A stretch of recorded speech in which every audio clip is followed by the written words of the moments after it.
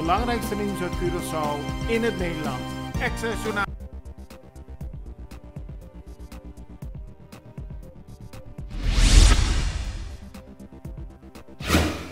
Gisteren bij een bijeenkomst van Fondation RIF werd duidelijk dat bewoners van RIF niet willen vertrekken. Er is een aangeboden uit de wijk te vertrekken, maar de bewoners zeggen hier te willen blijven. Dus al biedt men ons een paleis aan, we gaan niet weg uit deze wijk. Dat was de boodschap die de bewoners hadden voor de verschillende ontwikkelingsplannen, onder meer van FKP. De Vereniging van Christelijke Pastoors is teleurgesteld in de overheid. Men is het niet eens met het voornemen van de overheid om de mogelijkheid open te laten om Campo Alegre weer te heropenen. Volgens de pastoors moet Campo Alegre dicht blijven. Een bordeel dient nergens voor. Het enige waar het toe leidt is meer misbruik van vrouwen, al dus de pastoors. Mannen moeten zich beter leren beheersen en leren de vrouw te eren in plaats van naar een bordeel te gaan, al dus de pastoors. Advocaat-generaal van Sint Maarten heeft gisteren tijdens een hoger beroep op Curaçao opnieuw levenslang geëist tegen Chavil Perez. Hij is verantwoordelijk voor drie moorden en vijf pogingen tot moord en wapenbezit. Hiervoor werd hij eerder tot levenslang veroordeeld. Perez is in hoger beroep gegaan, maar volgens het Openbaar Ministerie is er geen enkele reden om de straf te verminderen. Gisteren is op de website van de Tweede Kamer in Nederland een verslag van de Staten van Curaçao gepubliceerd.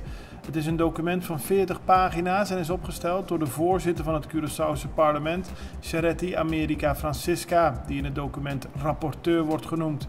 In de 40 pagina's staan alle grieven en vragen over het COHO die de verschillende fracties in het Curaçaose parlement hebben. Dit document is afgelopen woensdag 18 mei door alle fracties goedgekeurd. Na Colectra, nós tomamos tempo para servir ora com mais de comunibo. Llama no centro de cliente na telefone 0800 035 de jaluna para viernes voor die setor de mente te com setor de noite para turno serviço nan off para transita. Se você transita para sabra, também por hora.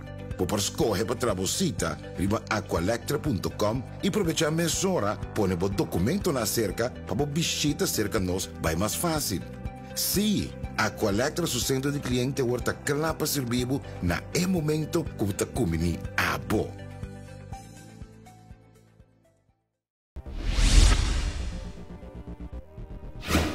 Eigenaren van de verschillende benzinepompen op Curaçao hebben gisteren in een brief laten weten dat er volgens hen sprake is van een lastercampagne.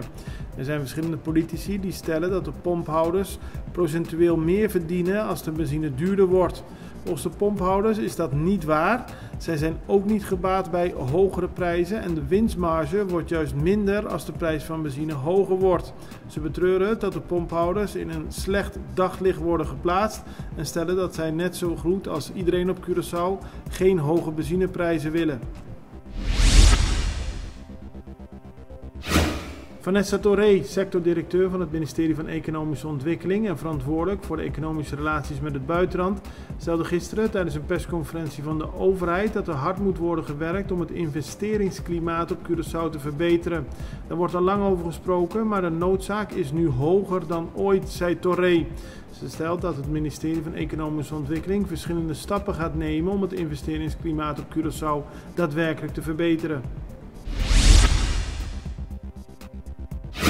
Gisteren vond de presentatie plaats van de Core Coin. Dat is de Curaçaose versie van een cryptomunt. Dat is digitaal geld wat wereldwijd steeds populairder wordt. Nu is er ook een op Curaçao onder de naam Core Coin.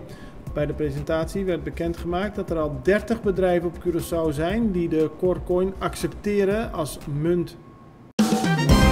Het belangrijkste nieuws uit Curaçao in het Nederland. Access Journaal, vers van de pers.